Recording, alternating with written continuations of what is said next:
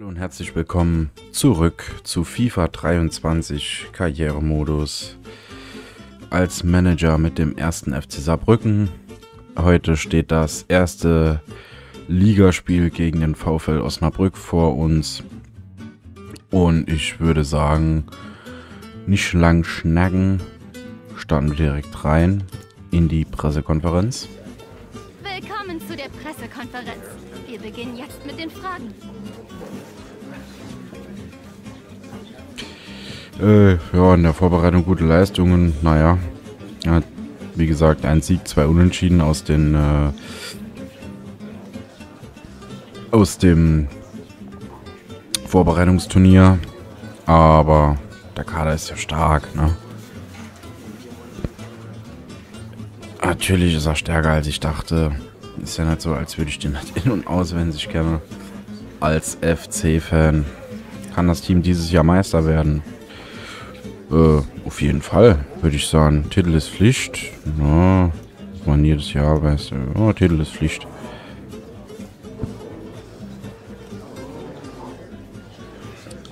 Eine Menge Druck. Transferfenster ist offen. Keine Neuzugänge. Na, wir sind überall gut besetzt. Auf jeden Fall. Ähm, das Ding ist, ich bin noch am überlegen. Äh, Damit sind wir am Ende dieser Pressekonferenz angekommen. Dankeschön. Dank. Danke, Karen.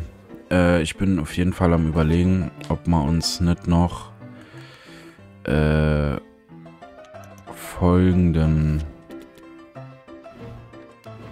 holen. Und zwar ja, das ist der Luca Schnellbacher vom Erzrivalen SV Elversberg. Der Typ ist nämlich verdammt gut. Aber nichtsdestotrotz würde ich sagen, wir starten in die erste Partie. Guck noch einmal. Wobei wir eigentlich hm, vielleicht noch ein, noch ein Backup-Sechser bräuchten. Und vor allem auch noch ein Backup-Zehner. Weil ich bin ganz ehrlich, Biada ist meiner Meinung nach so überhaupt nicht das Grüne. Nee, das Gelbe vom Ei, nicht das Grüne. Lull. Ähm, der allein 57 Tempo, das ist halt ja, ziemlich, ziemlich schwach, meiner Meinung nach. Wenn es gut läuft, kriegen wir guten Jugendspieler. Das wäre nicht schlecht. So, also gegen den VfL Osnabrück. Wir spielen immer noch auf Weltklasse. 5 Minuten Halbzeitlänge. Und es wird regnen.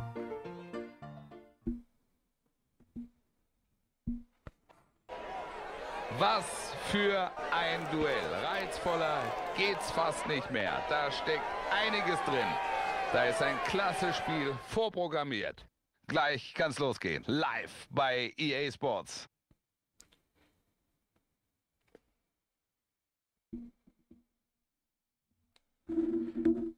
Ähm, jetzt die Frage.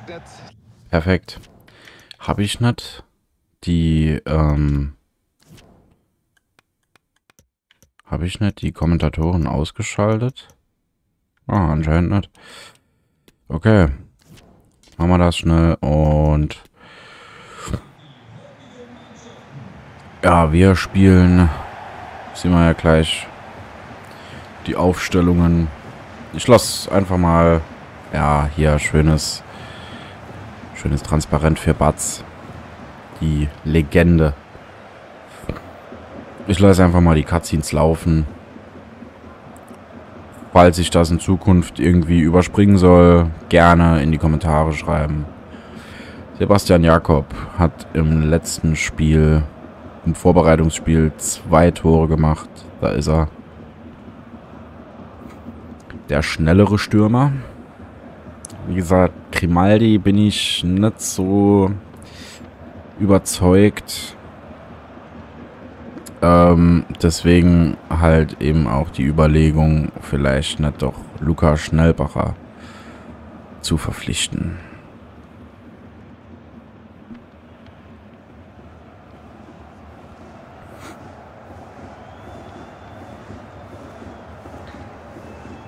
Ja, die Choreo wie in jedem Spiel gleich. Also, wir spielen mit folgender Aufstellung. Batsi im Tor, Dominik Ernst, rechter Verteidiger, Rizzuto, linker Verteidiger, Tölke und Böder in der Innenverteidigung. Zeitz, der Kapitän auf der 6, Kerber auf der 10, Günter Schmidt und Neudenker auf links und rechts außen, Grimaldi und Jakob im Sturm. Die Osnabrücker spielen mit Philipp Kühn im Tor, also auch Kapitän.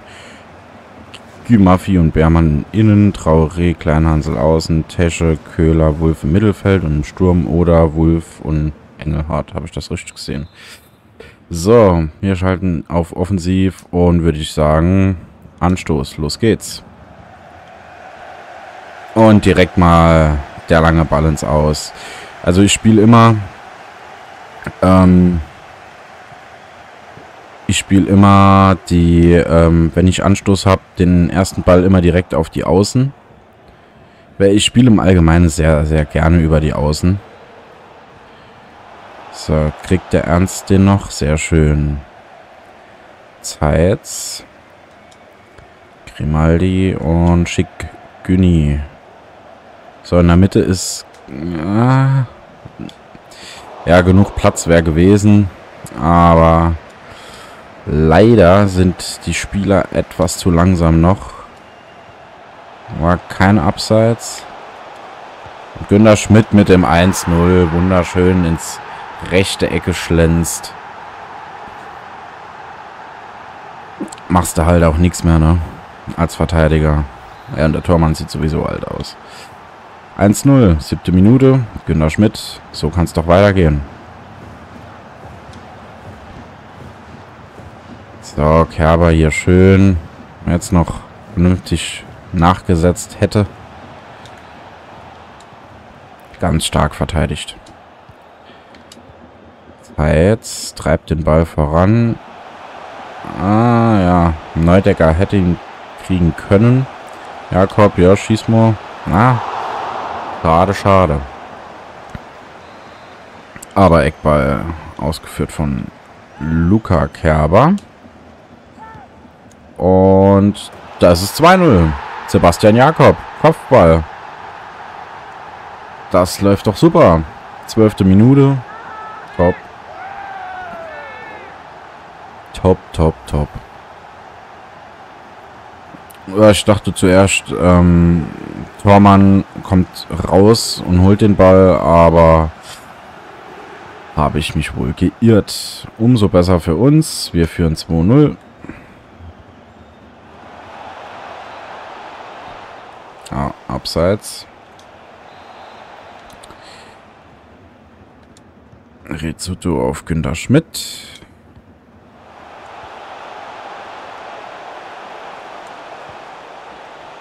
Ja, einfach mal Seitenwechsel machen. Auf Neudecker.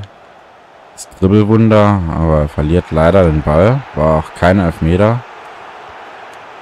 Ja, schade. Schade, schade. Aber Günter Schmidt einen Schritt zu langsam, beziehungsweise eigentlich auch schon zu dicht am, am gegnerischen Torhüter. Ja, wunderbare Verteidigungsarbeit. Kerber. Und da schicken wir mal einfach mal den Günther Schmidt und hoffen, dass der Grimaldi groß genug ist. Leider nicht.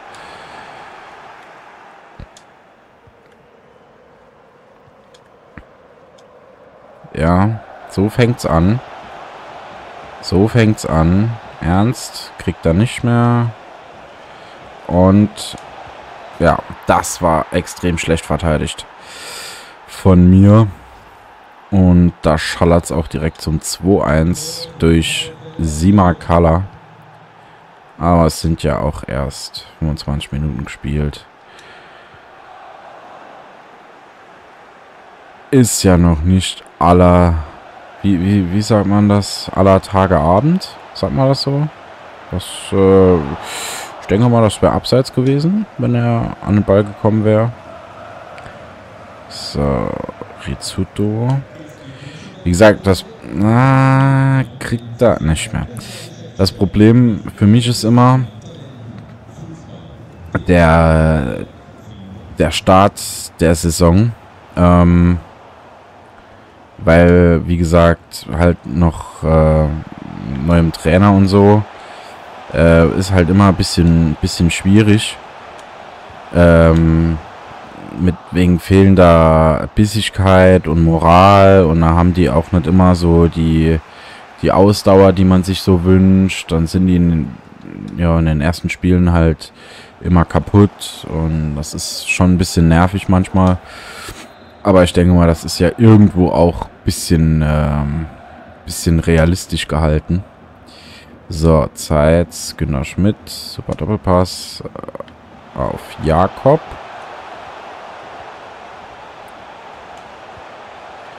Kriegt er nicht mehr. Zeit, schade.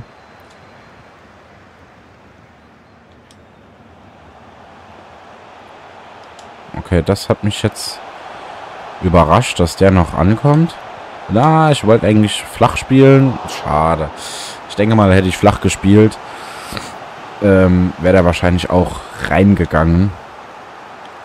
Er kam, nichtsdestotrotz kam er ziemlich gut aufs Tor und zum Eckball wird erstmal nichts, aber Pille ist noch heiß. Na, ne. Kriegt er nicht mehr.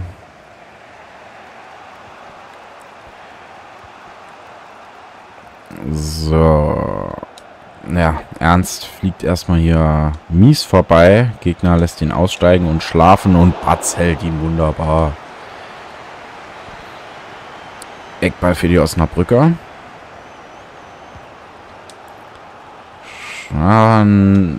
Schlecht, schlechter Erklärungsversuch von Jakob, aber direkt der Konda-Versuch Leider verkackt.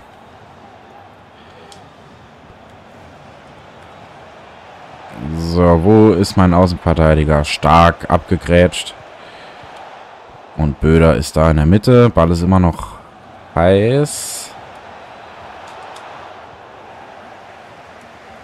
Ah, jetzt muss ich aufpassen, aber Halbzeit. Wir führen zur Halbzeit mit 2 zu 1 durch ein Tor von Sebastian Jakob und ein Tor von Julian Günther Schmidt. Und dann müssen wir auch schon wechseln. Grimaldi ist fertig. Ja, bring mal Rabihic oder Kuni. Das ist hier die Frage. Ich würde eigentlich sagen Rabihic. Gauss kommt für Rizzuto. Und ich würde sagen, den Rest lassen wir erstmal. Ich denke mal, dass wir dann im Verlauf eben noch äh, Jakob rausholen äh, und Kuni bringen. Außerdem Zeitz könnte dann für Böder oder Tölke, je nachdem, wahrscheinlich eher für Tölke, ähm, in die Innenverteidigung rutschen. Und Dave Knase kommt dann als Sechser rein, als frischer Sechser. Da ist ja auch wichtig, äh, dass im Verlauf des Spiels eben die Sechs auch ähm, stabil steht. Wie hier, Zeitz, der ist noch äh, gut dabei. Verteilt auch gleich weiter an Jakob und Rabid kriegt den leider nicht. Und aber jetzt kriegt er ihn super gestanden und Rabic macht drei Minuten nach der Pause das 3 zu 1. Wunderschön dran geblieben am Ball. Hier von Günter Schmidt. Und ja, eiskalt verwandelt. Aus fünf Metern ins halbhohe Eck machst du als Dormann nichts mehr. Ah, die Flanke hätte deutlich besser ausfallen können. So, äh, wir sind hier die, die Außenverteidiger sind mal ein bisschen zu offensiv.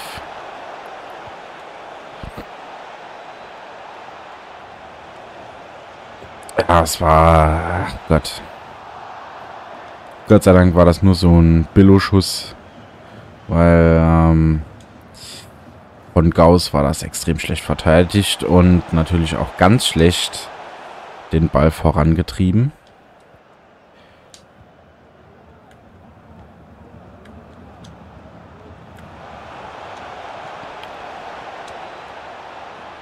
So, wenn wir jetzt, ich wollte gerade sagen, nicht gleich dazwischen gehen.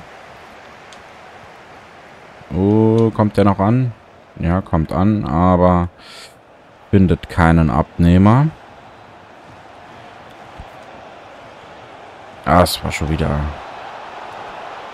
Oh, Batz, was machst du? Jetzt aber. Stark, Junge. Direkt immer der schnelle Ball nach vorne. Aber wie man sieht, ist nicht immer hilfreich. Ähm ja, wenn sich der ein oder andere, der das Video sieht, äh, fragt, warum ich zu zu einem solch späten Zeitpunkt, das könnte abseits gewesen sein, nö. Aber das ist das 3 zu 2 von Osnabrück.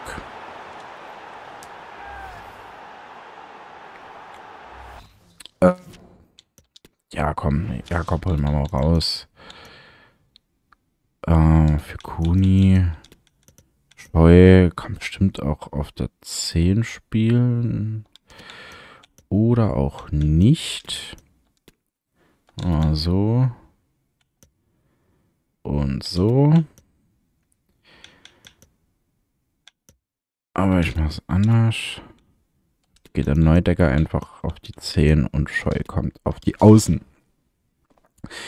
Äh, ja, wie gesagt, falls der ein oder andere sich fragt, warum, ähm, warum zu so einem ja, späten Zeitpunkt im FIFA-Jahr Jahreszyklus ähm, hier noch ein neuer Manager-Karrieremodus äh, angefangen wird.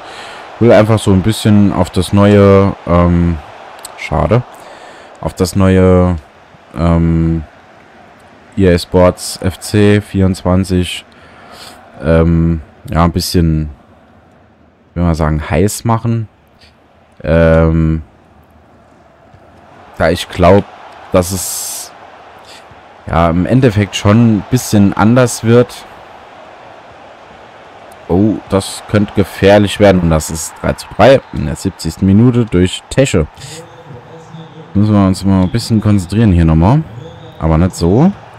Ja, wie gesagt, äh, natürlich wird es zum allergrößten Teil ähm, dasselbe sein wie, wie jedes Jahr FIFA halt, ne? Und ähm, aber weil die halt eben, ich weiß es halt nicht so ganz, nur weil die die Namensrechte von, äh, von FIFA hatten, ob dann nicht halt die FIFA an sich auch noch die Finger im Spiel hatte, gut gehalten von Batz übrigens. Ähm, ja, wie gesagt, ob der nicht die FIFA auch noch äh, ziemlich die Finger im Spiel hatte und ähm, vielleicht auch so manche Entscheidungen, ja, das ist 4 zu 3 für Osnabrück. Ähm, vielleicht auch so manche Entscheidungen äh, anders gelaufen wären, wäre die FIFA nicht gewesen. Das sind halt alles nur so Spekulationen. Ähm, ja, aber was ich persönlich mir extrem wünschen würde für das neue FIFA, wäre ein, ja, ein komplett überarbeiteter Karrieremodus sowie Manager als auch Spieler. Ähm, es kann ich ja jetzt schon mal sagen, es wird mit dem neuen äh, Teil wird ein äh, Road to Glory mit dem ersten FC Saarbrücken kommen. Ich spiele das jetzt hier einfach nur ein bisschen an. Ähm Ach, schade. Ähm, ja, genau. Es kommt ein Road to Glory mit, mit Saarbrücken und Steh auf. Meine Fresse.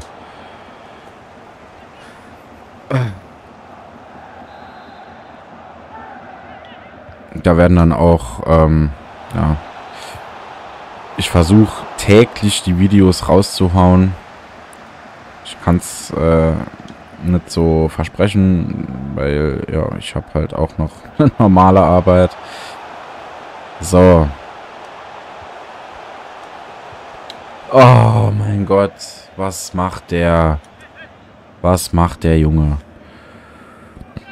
Starten wir hier wirklich in die neue Saison mit einer Niederlage. Rabic kriegt den Ball sehr schön, tänzelt zu viel. Viel zu viel.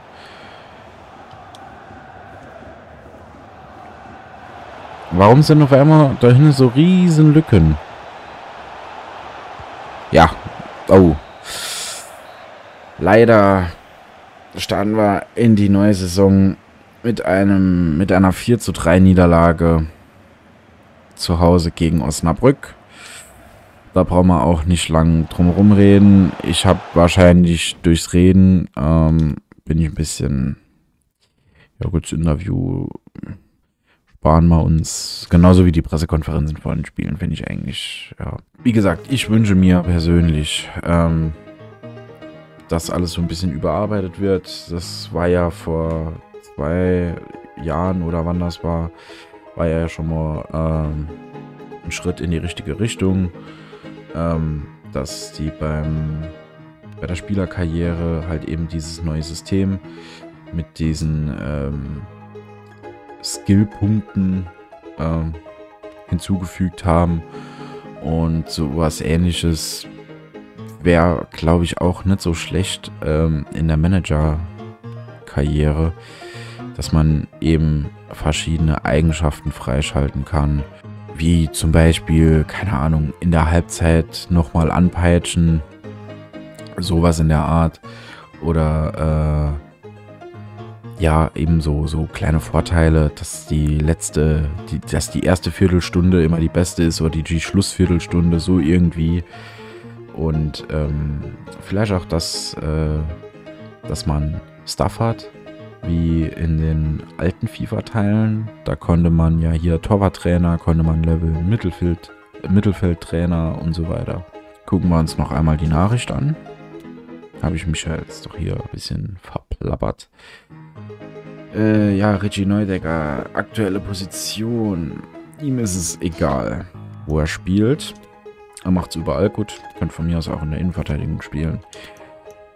Und Luca Schnellbacher. Eine Million ist er wert. Sollen wir mal gucken. Ja, noch 700. Noch was. 1000. Das machen wir noch schnell. Gucken mal. Boah, es wird aber sehr, sehr knapp werden. Ähm. Ach ne, ich habe hier doch noch 1,3 Millionen. Hm. Äh, ich probiere es mal mit 900.000, würde ich sagen.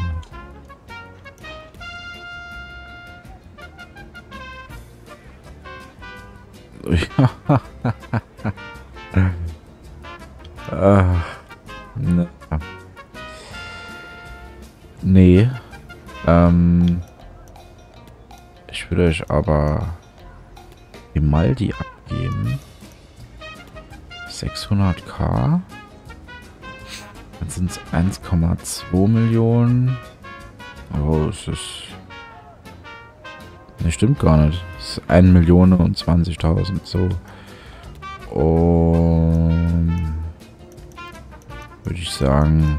Machen wir, machen wir so. Ja, die kriegen ja noch einen Spieler. 390. Uh.